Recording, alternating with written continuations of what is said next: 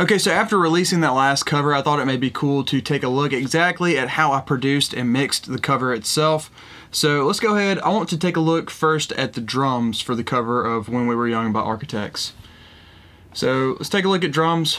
It is a Kontakt instrument, and I'm using Get Good Drums Architects, which I think fits the song very well, obviously. I did do a pretty good amount of processing on the drums, though. I'm setting everything except for the toms to their own channels. All the toms are on the same channel, but we have a kick channel, snare channel, a toms channel, overheads, and room. And also, a fun fact, this drums channel right here with the MIDI on it, I'm not sure what channel this is, but it sounds like a far room to me with mainly the snare. It's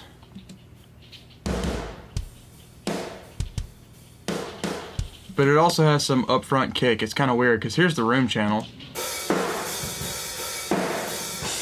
So, kind of strange. Oh well, so let's solo the drums and see what those sound like.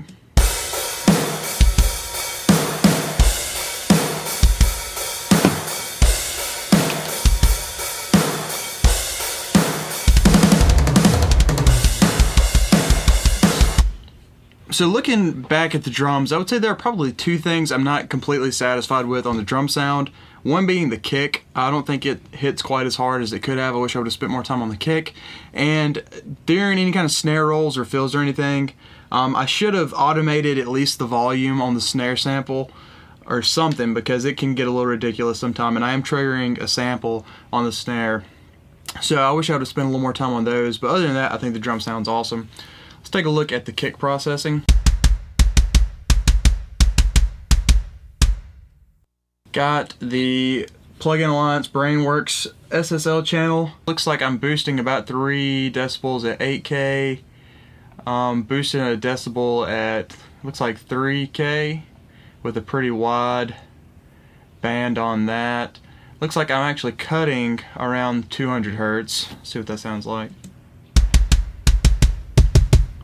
Yeah, getting rid of a little bit of that beater sound. Looks like I'm actually boosting at about 60 hertz, almost 2 decibels. And then I think I'm doing a little bit of compression as well. Yeah, getting about 6 decibels of compression, 4 to 1 ratio with a fast release. And then I'm, I'm using also the saturation on this plugin. So let's see what the kick sounds like with and without that.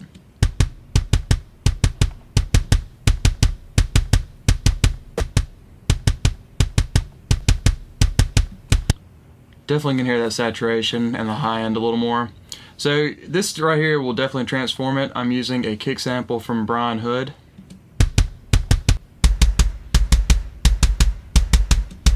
But I'm only running it at 50% see what it would sound like. Just here's what the sample sounds like at 100.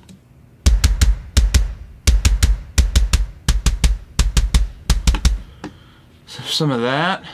And then Pro Q3, I'm going to be doing some boosting on the low end, I bet. Yeah, alright, so getting rid of a little bit more of that beater sound. Boosting some like 60 hertz. And a little bit of almost 6K. And that's the kick drum.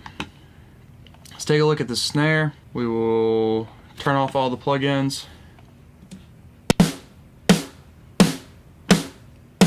So the first thing is I'm triggering, yep, two samples. These are two samples from Joey Sturgis Tones. We have Snare Smack Blend and Snare Smack Room. I didn't feel like there was quite enough room on the snare sound toward the end, so I added this room sample. But this is gonna probably transform the sound of the snare as well. I do think though with this sample and some of the processing we got closer to the album or, or, the actual snare from when we were young. And I'm only running this at 34% so it's not a huge difference.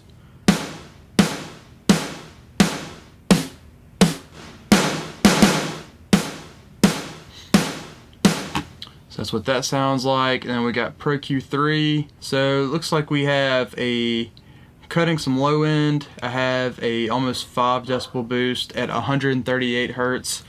I was cutting, I think this is probably the ringing sound. Yeah, a little bit of ring. I was boosting some high end like crazy. That's 10 decibels at 6K.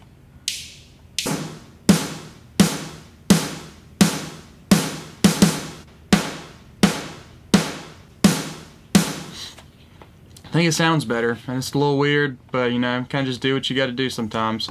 And so I took a look at the snare, and the fundamental on the snare was like around around 190. So I divided that in two to find like the lower octave basically, and that was right around probably 95 hertz. And I boosted a little bit of RBass on that to just give it a little more body to the snare.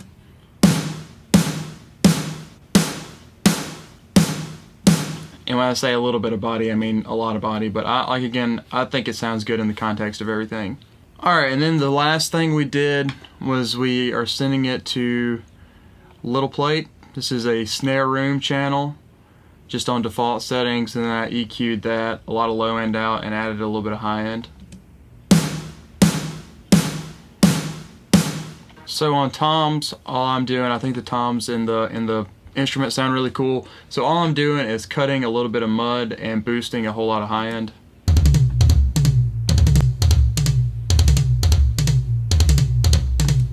I could probably even boost more high end, but you know, it sounds pretty good.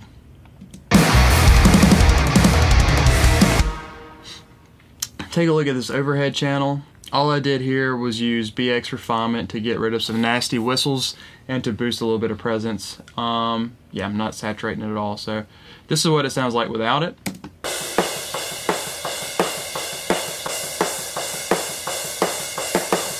So to my ears, you can definitely tell I'm getting rid of some of some of that like three or four K. Those those nasty whistles right there. This is probably one of my favorite plugins. I used it all over the mix. And let's get to the room channel. The room channel is being heavily compressed, pretty heavily EQ'd, and then I'm hitting it with BX Refinement again. So let's take a listen without these plugins. I should note in Kontakt, I'm sending more of the snare to the room channel than pretty much any of the other instruments, so that's why you're hearing a ton of snare. All right, let's take a look at this first compressor. Just absolutely smashing it with an 8 to 1 ratio. Pretty fast attack and then a fast release. Pretty standard stuff there. Let's take a look at Pro Q3. I'm just getting rid of some subbiness. Uh, sounds like there's probably some mud around there and some nasty whistles I didn't like.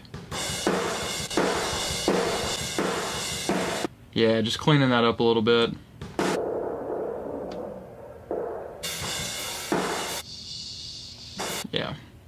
And then I wanted to clean it up a little more with BX Refinement. It looks like I actually used the saturation knob on here this time and boosted a little presence. Just getting rid of some more. We can listen to the solo filter.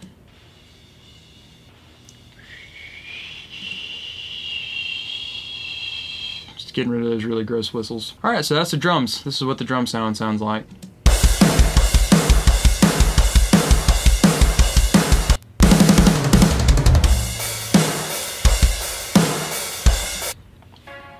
Let's go on to bass. I think bass would be cool to go over now. So I got two channels on bass. I don't have the Kontakt instrument up, but it's Eurobass from Submission Audio, just the DI sound. And I split that into a high and a low. Let's take a look first at the low.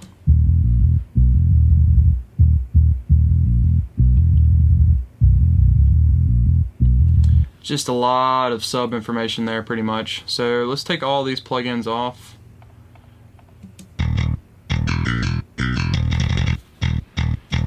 Just a really good bass DI. So the first thing I do is I'm filtering it down all the way to 160. Getting rid of all that high end. And then I'm using BX sub filter right around 60 hertz it looks like. And I'm boosting some low end on there.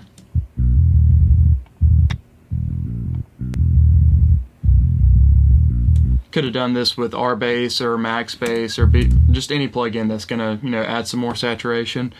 Some more actual notes down to the low end. And then I limited with this LA2A from UAD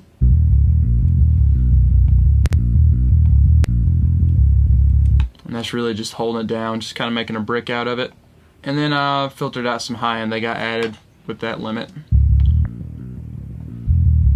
So we just have some nice clean low end down there. Let's take a look at the high channel. Same DI sound. I'm throwing it into Saturn and using kind of Saturn as a way to get rid of a lot of the low end and then to also saturate some of this high end. Not really saturating the low end at all. There's a little bit, I guess I could literally just turn that all the way down. And then I use this heavy, heavy saturation all the way up from 416 hertz onward. That in itself actually sounds pretty nasty, but then I went ahead and threw it into this Ampeg from UAD.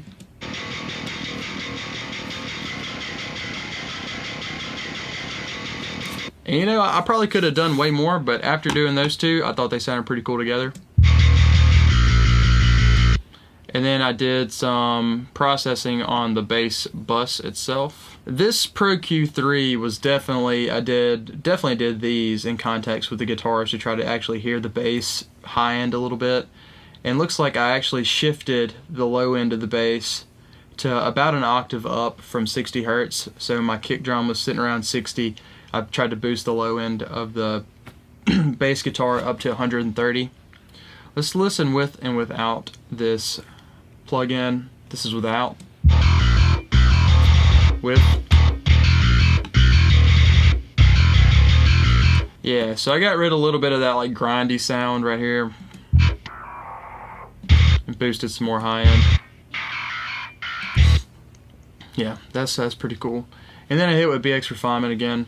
Just getting rid of some of these whistles. Got the filter soloed. And added quite a bit of presence on that. Let's listen to bass and drums together.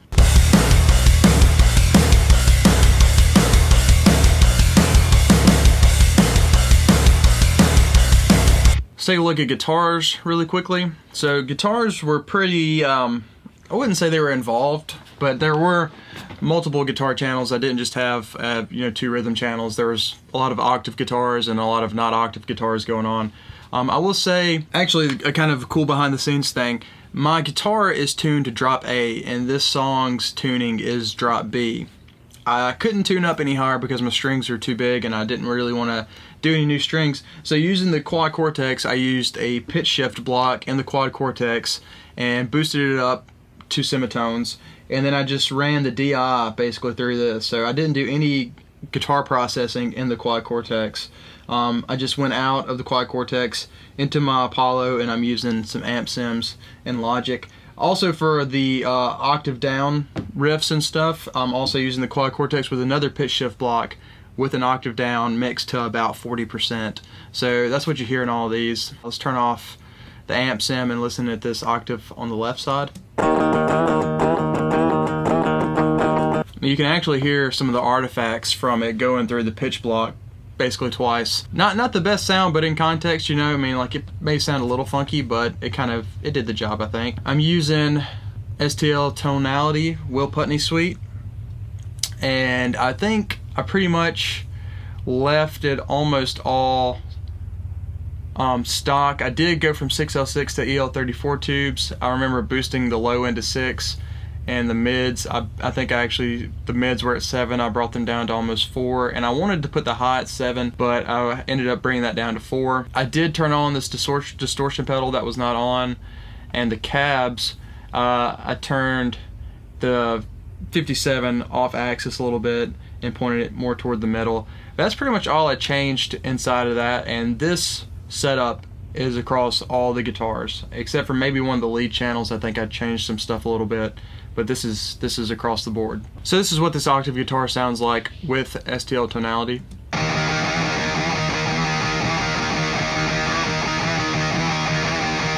And then on the normal rhythm guitar channels, like I said, it's the same setup exactly in the amp sim, but it's just the DI with the pitch shift up, not the pitch shift down.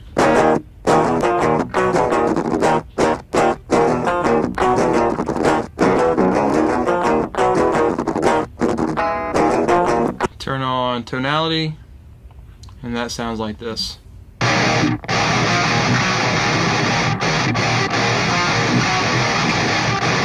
Let's take a look at lead guitars really, or let's go ahead and look at these layer guitars. Um, there is an octave going on during these parts of the song. This is the kind of like the intro riff and then the verse riff. There's an octave going on around that I heard, so I did an octave guitar because I didn't want to do a synth. And that is literally just a DI. There's no amp sim on this. With Decapitator absolutely crushing it. Making it sound all fuzzy and nasty. Then micro shift to put it out to the sides. That is 100% wet on that. Then we have Valhalla Vintage Verb. This is completely stock. I don't think I changed anything on this. And then just some EQ to get rid of some nastiness. So that's let's listen at that in the context of the mix.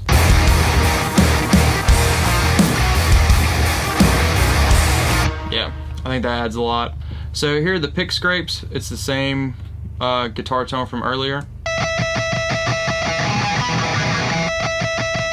And I just left those on the right side because this octave layer was on both sides and I kind of just thought it was cool to, to throw it off a little bit. Alright, then let's take a look at the synth guitar that is over here on the down chorus, the lo-fi chorus. Uh, instead of doing a synth again, I just copied and pasted the lead guitar uh, line and did some did some processing to it. So let's take a listen at the DI.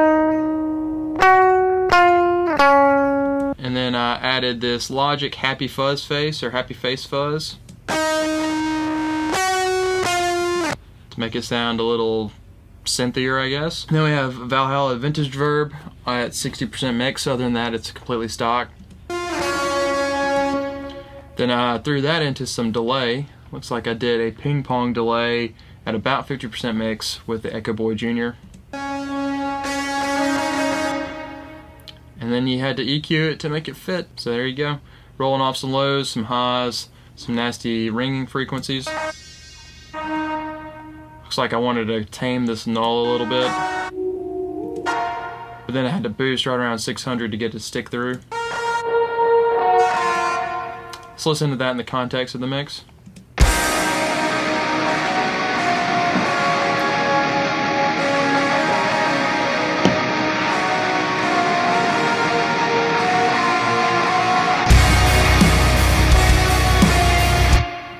One more thing to take a look at would be these chorus keys. This is a Kontakt instrument that I've just bounced down.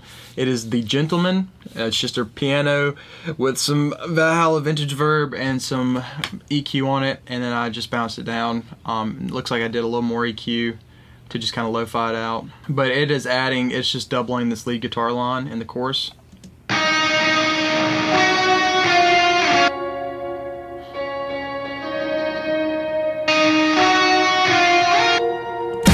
Thought that was kind of cool. Then the last two things to look at on this before we take a look at the master bus would be I got some explosions. Gotta have them. And then this last kind of uh, outro riff, it did not sound quite big enough to me. Let's listen without this uh, sub drop. It didn't sound quite big enough for me coming out of this chorus. So just threw a sub drop on it, see if that would fix it. That's better. But there's also some automation to, to take a look at on there. In the hopes of trying to make that sound bigger, I actually boosted the bass at the very end. And the kick drum, I did a little automation on the very first kick to make it a little louder. And then there's automation throughout the whole mix that we could take a look at. Just with me limiting the project so heavily on the master bus, these octave guitars kind of in the little interludes would bloom up to really loud levels, so I brought those down uh, every time that was an issue and then this bass right here on this part I brought the bass up a little bit because it was basically basically doing the sub drops. Yeah that. Brought brought that up. And then whenever it was doing the turnaround on the breakdown I brought it down a little bit because it was just a little too heavy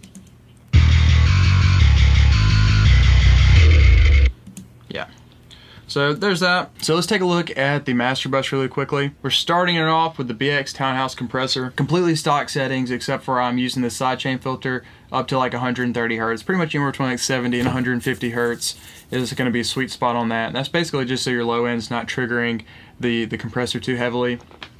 And what I was really looking for was a snare. I wanted to get around 4 decibels of gain reduction. Um, I'm not just out of the blue aiming for 4 decibels. That just kind of is typically where I can actually hear the compressor. It sounds like it's kind of grabbing the whole mix and kind of adding a little bit of movement. Let's listen. It's like I can hear whenever the snare hits, I can hear the mix come down and then back up.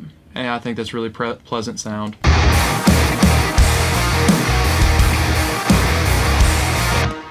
So that's doing four to five decibels of gain reduction, and that's pretty much like all I did for the most part on mastering. I just let Ozone take care of it for me. I go up to the intelligent kind of master, you know, helper or whatever it's called, and it gave me this kind of kind of curve. This is what it sounds like without Ozone.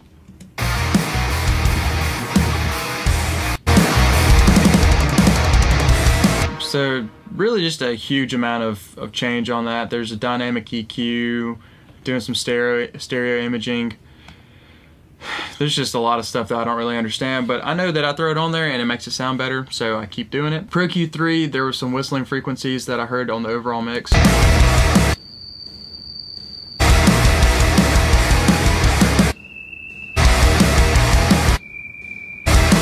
So I just pulled those out a little bit and I just think it pretty much immediately makes the mix sound better.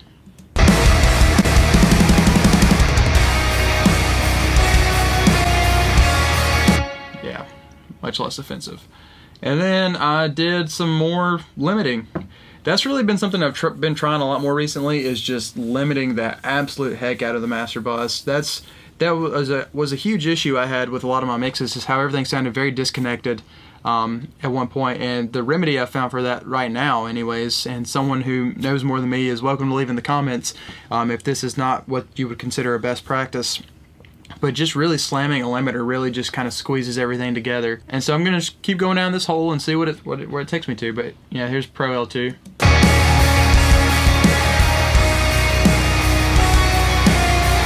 So that is the full mix of when We Were Young by Architects. If you guys enjoyed this kind of video, please do let me know down in the comments and I will continue doing these in the future. Uh, thanks again for watching this video and I will see you guys in the next one.